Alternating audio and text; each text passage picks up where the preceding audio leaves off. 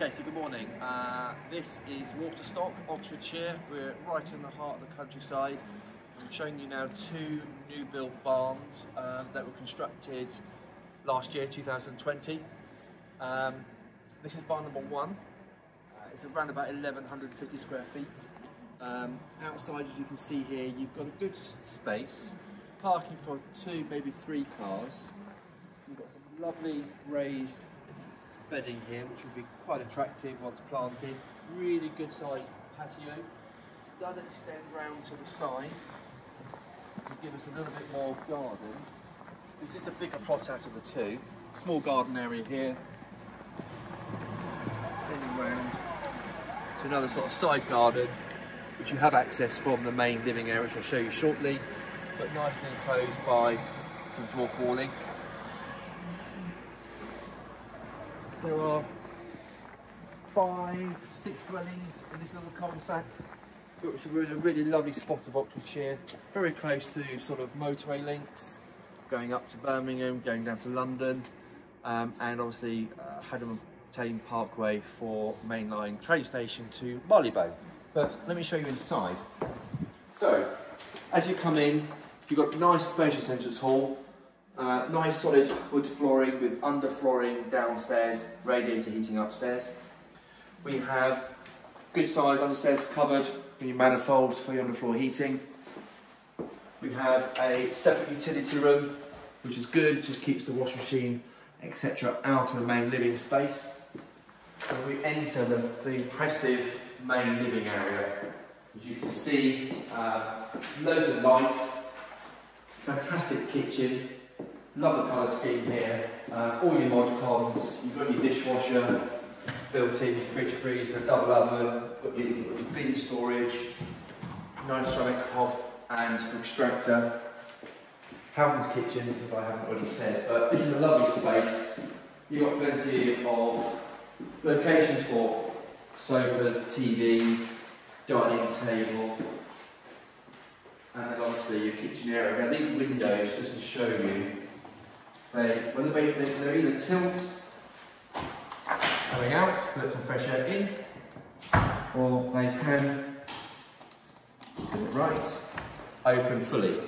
So in the summer you can let a lot of air in, cool you down. Door there gives you access to the side garden that I showed you earlier. So I think it's about 32 foot in length. Really good space, really good size. Love that room.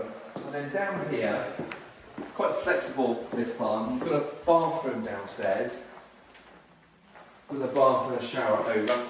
Again, it's a good size.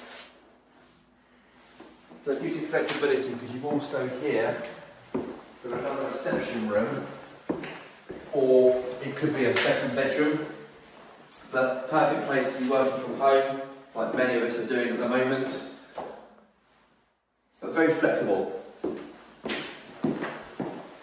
and then on the first floor, we have one really good sized master bedroom with an ensuite. Got a nice little landing area here so you can have some furniture or something there. But again, nice sized bedroom. Even though we've got some eaves, I'm a lot restricted, I'm six foot and plenty of space for me to stand. Um, shower room, fully enclosed shower. Nice big double shower cubicle. Sort of skylights giving it some character.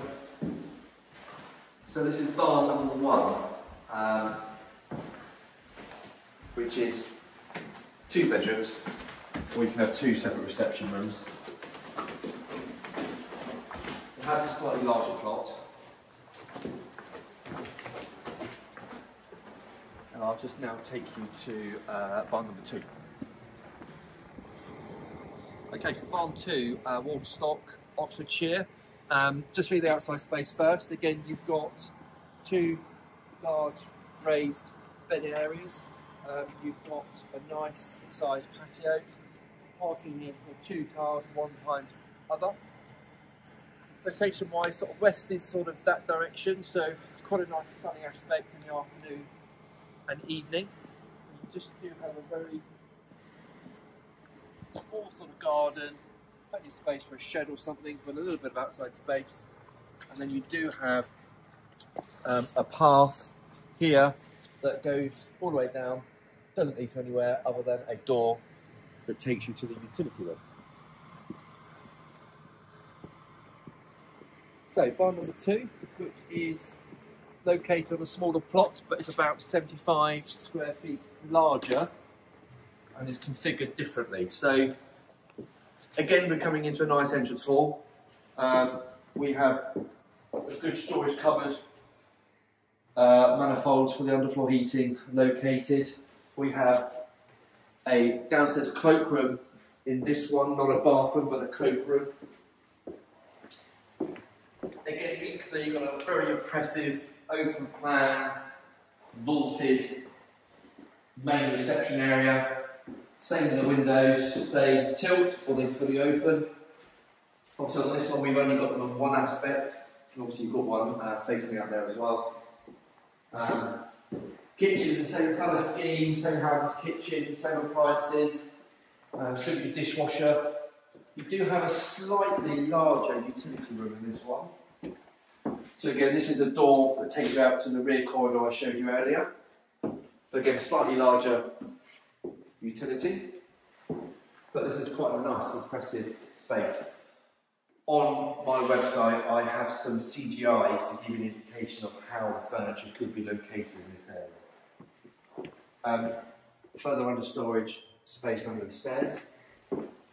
So here we could be, this could be classed as bedroom three, or it's a separate reception room, and again, like I said, next door, home office for us that are working from home at the moment.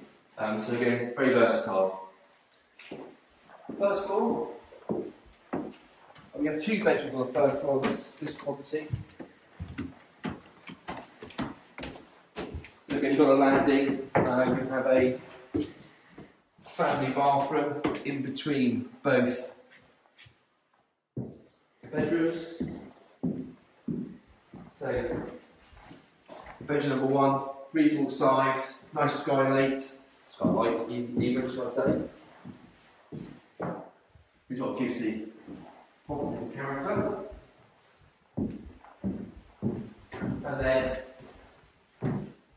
another further bedroom. So you've got two bedrooms up here, family bathroom, and then you've got a, a further reception room or bedroom three downstairs. But both built to really good quality. Fantastic location.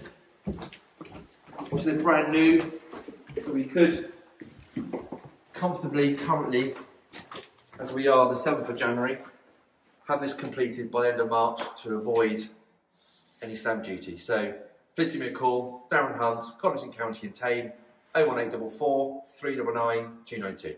Thank you for listening.